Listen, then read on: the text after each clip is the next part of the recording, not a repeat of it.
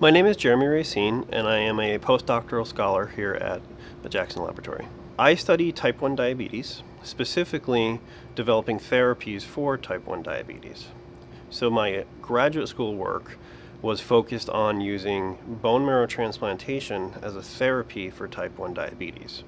So taking what the bone marrow transplantation scientists in my graduate school lab were working on as means to improve bone marrow transplantation, I took those procedures and applied them to treating type 1 diabetes. Bone marrow transplantation is a very difficult procedure, it's very harsh, and so it's currently reserved for particular diseases such as leukemia, lymphomas.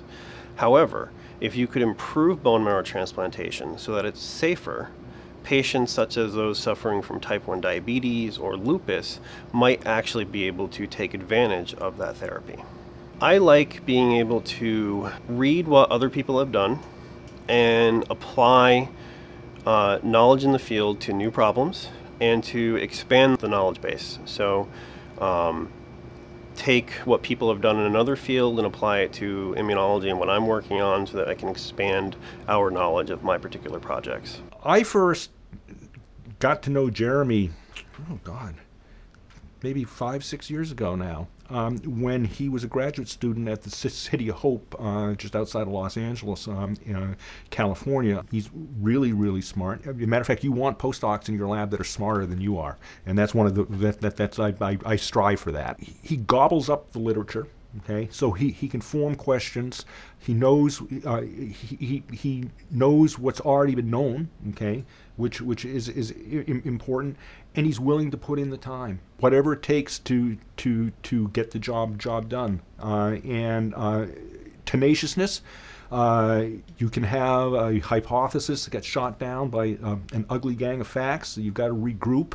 So you've got to have, you know, you, you, you can't let uh, experimental failure disappoint you in this game. You have to come right back in the next day and start anew, okay? And uh, uh, he can do that. And that's, you know, that's very important. I always tell all of my, my trainees, you got to have a very thick skin in this game.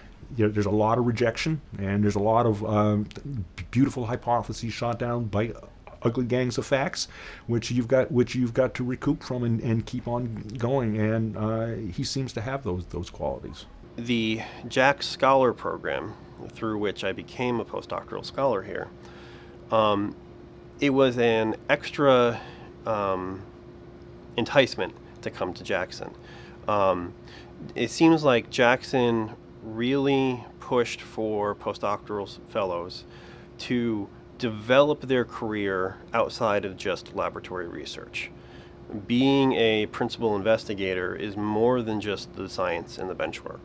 You have to learn how to manage people, you have to learn how to manage funds, you have to learn how to manage a mouse colony.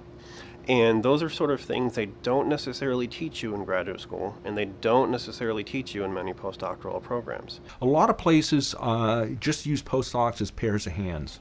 Uh, you know, try to get them in as cheap as you can, um, use them up, chew them up, spit them out. And that's not, not, not the approach uh, we've had at JAX. We actually have a program where there's expectations of the fellows, okay, uh, what to, and uh, that there's milestones or, or uh, set for them that, you know, that we want to see them to develop into individuals who can become, um, in, you know, their own independent investigators. They're uh, expected to actually give presentations of their work at least once a year at one of these venues. And but on the flip side, and this is equally as important, the, there's expectations on the mentor. Okay, which is very Im important, where they're looking to see are you doing right by the postdoc? Are you making sure, you know, A, they, are, are you helping him or her with, with their grant applications, with their papers? Um, are you making sure that they get to attend and present their work at national and, and international meetings? So it, it, it's a two-way review, and that's what kind of has made our program unique at the beginning. But uh, other institutions are now copying what we've been doing for well over 20 years. And so I, I th think that's, a, that's an important part, part of the program here. Jackson really wanted to develop the whole scientist. In fact, they have a program here called the whole scientist. Um, and that really excited me. Um, I knew that I would get the science background in any postdoctoral fellowship I did. I just didn't know if I was going to get everything that else that comes with training to become a principal investigator, and Jackson has that.